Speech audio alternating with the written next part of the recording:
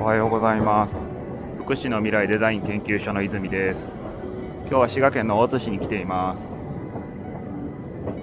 まあ、大津らしい風景ですよね。京阪浜大津駅からすぐ滋賀県大津市の社会福祉協議会にお邪魔してきました。2020年は新型コロナウイルスの影響で社会が大きく変化した年になりました。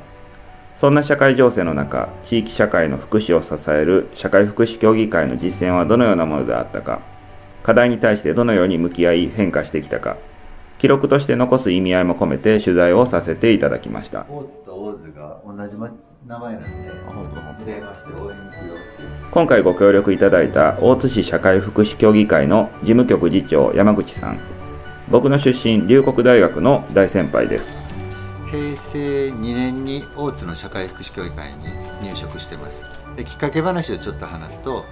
私あの大阪の堺出身で子供の頃に貧困が近くにあったんですよね。あその橋の下で寝てる人とかあと西成のおっちゃんとか人事じゃないなっていうふうに思いながら貧困って何であるんやろうっていうのをきっかけに、えー福祉の学問を学んでみたいっていうことで龍谷大学に進みました。今回は大津市のコロナ禍における地域福祉実践についてお話をいただきました。それでは行ってみましょう。はい、社会福祉協議会略して社協と呼んでます。社会福祉協議会は戦後当時アメリカの GHQ が日本に福祉の制度を担当するのを行政以外にもう一つの組織を考えようということで時の厚生省が考えたのが住民と福祉施設地域の皆さんと一緒に地域福祉を進める団体として社会福祉協議会ができました。当時昭和27年に大津市の社会福祉協議会も設立総会を迎えまして全国の市町村に社会福祉協議会が生まれた。社会福祉協議会の歴史自体はもう65年を超えて70年に近づいてますけれども職員が採用されてからはまだ50年経ってないぐらいじゃないかというふうに思ってそれぞれ独立した社会福祉法人ですけれども連携していますので社会福祉協議会ということだけで全国でつながれるっていう非常に得意な社会福祉法人になります。まず社会福祉協議会の1つ目の業務は住民主体の地域福祉を進めていくっていう業務です。小学校区単位に基盤としての地域福祉の組織を作っていくっていうのを関西では各地で行われています。ちなみに大津では小学校区ごとに学区の社会福祉協議会略して学区社協っていうのが36カ所ありますので学区社協活動を基盤にして地域の福祉活動を進めていく。これが1つ目。で2つ目は大津の社協では古くから大事にしてきている相談活動です。全国の社会福祉協議会ではこの生活福祉金という貸付がその相談の窓口になっているっていうのもありますしもう一つは心配事相談ということで市民の困りごとや心配事にの相談に乗るっていうそういう体制をしっかり作っているっていうところもあります。平成27年ぐらいからは生活困窮者自立支援事業を社会福祉協議会が行政からの委託を受けてるってとこも増えてきましたので多くの社協で力を入れてます。これが2つ。目で3つ目は介護保険サービス等の在宅福祉サービスを行ういわゆるサービス部門っていうのが3つ目です。でホームヘルプ事業をやってるところもありますしデイサービス事業また最近では特別養護老人ホームを運営しているところもあります。全国で7割から8割の社協でこの高齢者の介護保険とあと障害者の福祉サービスを担っているそういう社会福祉協議会も多いです。今後も大津市社協さんには撮影のご協力をいただく予定になっていて社協の地域福祉実践などについてはまた別の機会に詳しくお伝えできるんじゃないかなと思います。さて今回はこのコロナ禍での取り組みについて詳しく伺うことにしました。始まってからコロナのこの影響が出てきまして特に私たち全国の社会福祉協議会に影響を与えたのが3月の末からコロナで減収もしくは失業休業等コロナの影響で生活にお困りの方に特例貸付金の全国の市町村社会福祉協議会が窓口になったっていうのが大きな出来事でした。相談支援課自立支援グループのグループリーダーさせてもらってます山崎晴美と申します。個別の相談メインのグループになります。生活困窮者自立支援事業であったり生活福祉資金総合相談窓口とふれあい相談窓口という個別の相談を丁寧に聞いているというグループであります。戦後さまざまな生活に困窮する方たくさんいらっしゃった中で民生委員さんの運動によってできた制度っていうことになるんですね。あの生活福祉資金という制度が、まあ、始まりまして対象の方っていうのは低所得世帯の方非課税世帯とか生活保護の大体水準の1.7倍ぐらいの方とあとは障害をお持ちの方の世帯とご高齢の世帯向けの貸付制度になります。今回はこのコロナによって生活福祉資金と緊急小口資金というのが特例貸付という形で申請が3月から実施主体はそれぞれの県の社会福祉協議会になって県から市町の社協があの委託を受けて手続きとかの相談窓口を担っているということになります。当初は先ほどお伝えしたような低所得者の方とかね障害とかご高齢の方もいらっしゃる世帯が対象だったんですけどコロナによってさまざまな方が影響を受けてこれまでにちょっと私たちも経験のないさんのお問い合わせをいただいて窓口にも一時まあちょっと殺到するような形があったんです。半年で100倍の相談の方が来られてるっていう状況です。実は大きなジレンマを抱えているっていうのが正直で本来は生活福祉審議っていうのは相談支援を抱き合わせでやるっていう制度なんですけどとにかく先にお金をあの届けてその後にまあ相談っていうふうに思ってたんですけど、まあ、先ほどもお伝えしたように100倍っていう件数なので相談支援がとにかくできないっていうジレンマをずっとこれまで抱えてきました。相談者がどっと訪れたのでまずは体制を整える特に気をつけたマネジメントの観点は現場で起こる毎日の出来事の多くに関しては担当職員が頑張ってくれるんですけどマネジメントの立場で解決していくっていうことを心がけてきました。職員の体制も整ってきたので当時郵送でやり取りしてた人たちに電話で「その後生活どうですか?」っていうフォロー電話をほぼ全ての人にすることができてきてますので実際家に行ってサポートしたりとかあと市役所に一緒に同行したりとかそういうこのサポートが今始まってますその災害時とかこのパンデミックスの時に業務を最低限この業務にはこの人がいる。後の業務を全部こっちに集中させるっていうような計画を事前に作っておく。で大津はそれ事前に作ってあるんですね。BCP って言うん。ですけどもともと大津の場合は災害特に地震を想定してきたんですね。今回のようなパンデミックスを経験してなかったんですけれども4月の段階で改めて各リーダーにこの BCP の作り直しを指示をして今やらんでいい業務はもうやらない。どうしてもやらなあかん業務とそれに対して何人必要なのかを確保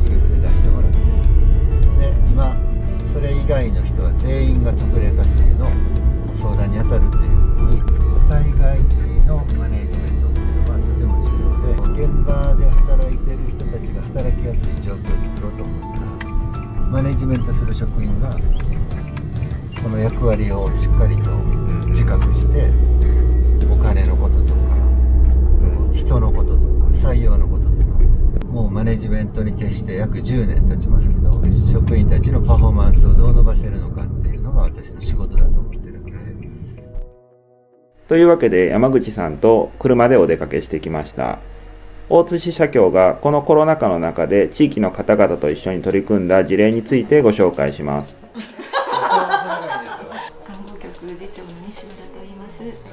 330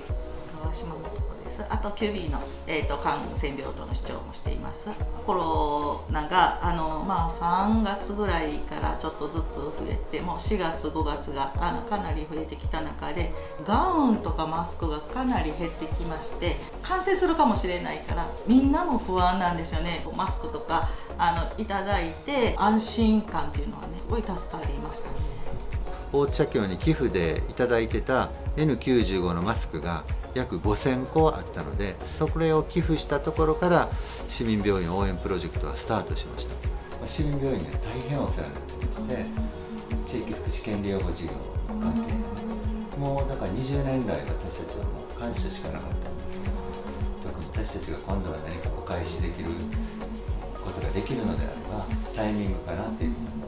てコ重症の方が利用されている病棟の前の通路になります。でここに勤務しているあの医療スタッフがあのすぐ目に留まるところに貼らせていただいてあの日々元気をいただいています、まあ、これも思い出だねって言って写真も撮らせてもらったりとかしたんですけどね、大変な時間をちょっと一時忘れる時間になったなっていうような感染症病棟にもね少し貼ってあるのであのスタッフもちょっと疲れた時に応援してくださるって言って涙ぐむスタッフもやっぱり実際いましたしねどんな状況にあってもこういったつながりをね持ちながらやっぱりよりいい医療を提供できるような病院にしていきたいという思いを強く思っております。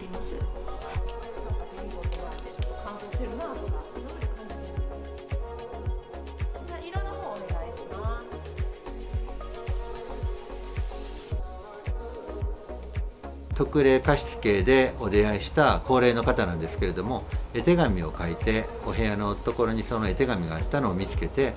実は大茶協では市民病院を応援してるっていうこういうプロジェクトがあって絵手紙を送ってるんですって話をしたところもしよければぜひ自分の絵手紙 で役に立つのであれば使ってほしいということで市民病院の方々はその絵手紙に随分励まされてまたその方にお礼状を出すっていうことでその方はまた元気になるっていうそういうこの循環が訪れたのでこのように市民病院の医療スタッフの方たちをサポートしようという取り組みが結果として支える側の心の支えにもなっていたというお話ですね。さてそういった精神面でのサポートだけではなく医療機器を買うための寄付金を集めるといった活動もされていたということでした。市民病院応援プロジェクトで寄付を募ろうってことでホームページで寄付を呼びかけて誰かを応援しようっていう気持ちがまた誰かの気持ちを揺さぶってでその結果がまた誰かの心を人の心をこの動かすっていうこういうお困りの方の支援を通して我々自身が励まされて助かった。そんな経験をこの間してきました。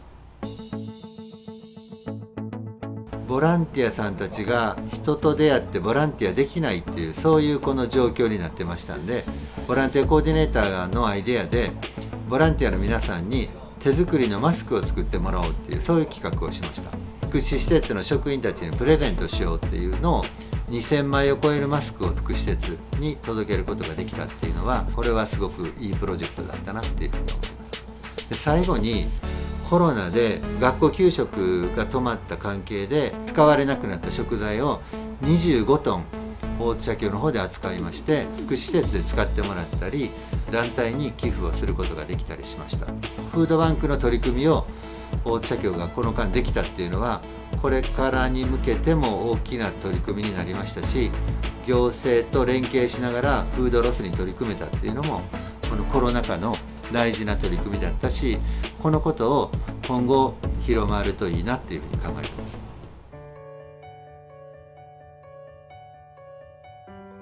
今回の生活福祉資金があったから本当に助かりましたっていうご意見がすごくいっぱいあって資金を届けることをしてよかったなっていうのは思ってる一方でコロナの収束のめどが立たない中で先行きがもうとにかく見えない不安を抱えてる方がすごくたくさんいらっしゃるっていうのもあってこれから本当に本格的な相談が増えていくんだろうなっていう。コロナの貸付も給付に関してもそれぞれこの終わりがあるんです。これからも雇用を脅かすでしょうし私たちの生活をずっと脅かしていくっていうのが一方ではあるんですけれどもコロナの特例貸付また住居確保給付金などは住居の確保給付金は9ヶ月で終わりますしコロナの貸付も最大6ヶ月で終わるわけですね。横に寄り添いながらもう一回前を向いて立ち上がっていくそういうお手伝いができたらなと思いますしそのことはこれからの大きな課題だと思います一人ぼっちでコロナ禍に立ち向かう人たちを少しでも社会福祉協議会の職員たち市の職員たちが横に寄り添ってその方の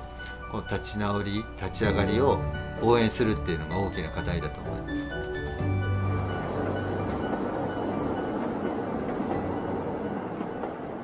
コロナのことがあったことであのすごいあの人と人っていうのは支え合うっていうのがすごい大事なのかなって思ったりつながりが急にこう身近にあの感じた。これからもこういうつながりをね大事にしていくとあの本当に健康にねみんなが暮らせる世の中が来ればいいかなっていうふうには思います。コロナを通じて特例貸付で今まで大津の社会福祉協議会に出会ってなかった約5000名もの皆さんが社会福祉協議会がこういう相談機関なんやってことを新たに知っていただけたってことは大きいと思います。コロナが例えば収まり自分たちの生活が前を向いた時に今度は社会福祉協議会通じて助ける側に回ってくれるかもしれない。職員が一緒にリアルタイムで経験しましたので今後いろんな災害や困難に出会った時にコロナ禍での取り組みはこれから未来への希望につながるだろうというふうに考えています。今回山口さんとは20年ぶりぐらいに再会していて僕が大学を卒業する年に大津市の地域福祉計画を作るっていうのの市民向けの聞き取り調査のボランティアみたいなことをしたんですね。でその時にお世話になってなんか当時から変わらない温和な雰囲気でボランティアの内容は全然覚えてないんですけれども山口さんのことはとても印象に残っていて今回再会できて本当に嬉しかったです。そして大津市社協の皆さんも、えーと、お忙しい中取材にご協力いただきましてありがとうございました。そして今後ともいろいろ動画の撮影にご協力いただけるというお話になっているので引き続きどうぞよろしくお願いいたします。そして大津市民病院の医療従事者の皆様も取材にご協力くださりありがとうございました。本当に今の大変な社会情勢の中で最前線でお仕事に従事してくださっていてえー、ただただ頭が下がる思いです心からありがとうございますとお伝えしたいですねなかなか先が見通せない中で不安なことも多いですけれども多くの人たちと協力し合ってこの危機を乗り越えていくことがやがて経験になり次への希望につながっていくという山口さんのお話にすごく共感しますし僕もできることを頑張っていこうと思うところですね。福祉の未来デザイン研究所ではこのように全国各地で意義ある活動をされている方を取材して動画にまとめ発信する活動をしています。ぜひチャンネル登録などしていただけると嬉しいです。では、今日はこれぐらいで終わりましょう。福祉の未来デザイン研究所泉でした。今日も一日皆さんにとって素敵な一日になりますように。ではまた。